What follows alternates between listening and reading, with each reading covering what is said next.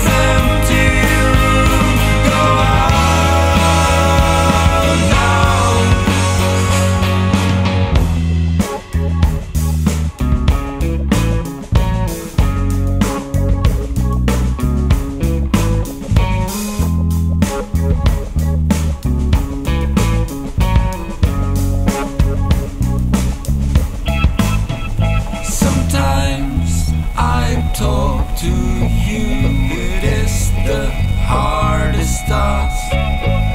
Don't listen to the voice that tells you that everything sucks.